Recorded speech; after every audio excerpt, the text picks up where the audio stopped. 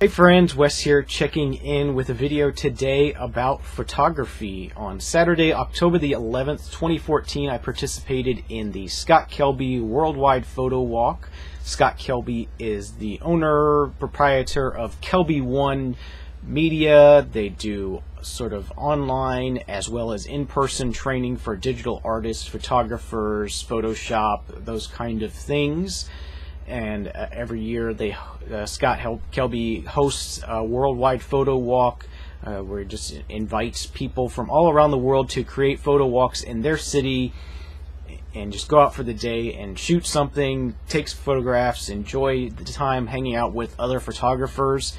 And there were over 1,000 photo walks all over the world this year, and there was one here in my hometown of Gainesville, Florida that I participated in it was hosted by uh, another photographer by the name of Wes. He is a digital media uh, instructor, digital media teacher at a local community college here in Gainesville and did a really good job of hosting the event. Had a really great time.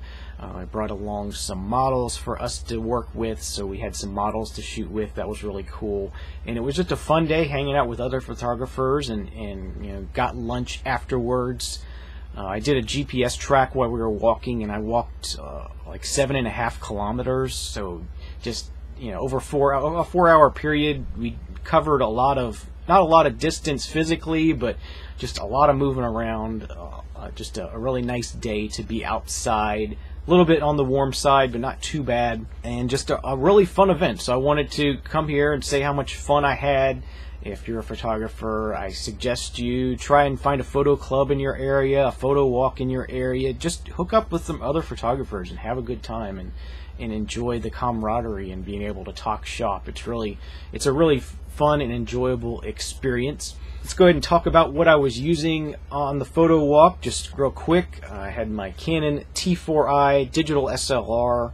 I do use a better vertical battery grip. I do like taking vertical images quite a bit, and I found that I really like having this battery grip on here. It just makes it really handy to, to turn the camera sideways, and I still have all my controls and shutter button and everything here. Uh, really, really nice to have that.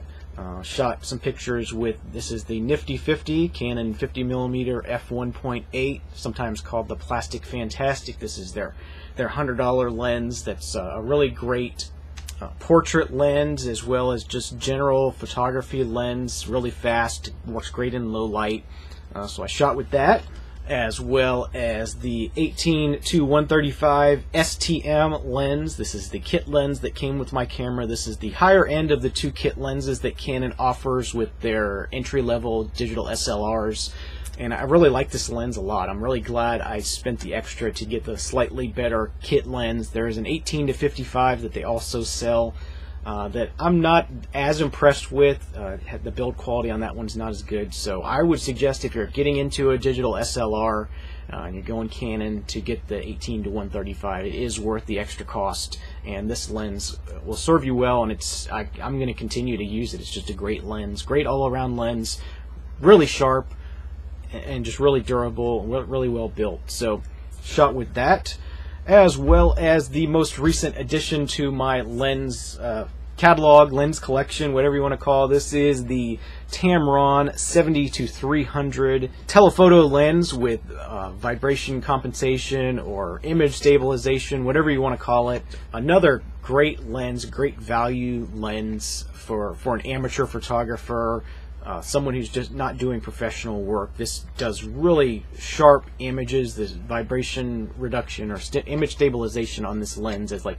four stops of image stabilization, so you can get some really sharp sh shots at slower shutter speeds with this lens. And I'm just I continue to be blown away by by the pictures coming out of this lens. I've taken some really great shots with this lens already, even though I just got it a month ago. And I got some more events coming up here in the next two weeks that I'm going to be using this a lot at. There's a homecoming parade this Friday, and then there is a, an auto race that I'm going to be going to the Friday after that. So two very useful events to be able to use that lens. Uh, I know at the homecoming parade last year, the 135, 18 to 135 was not quite long enough to get out to get some really detailed shots of some of the some of the uh, people in the parade. So I'm really looking forward to having that.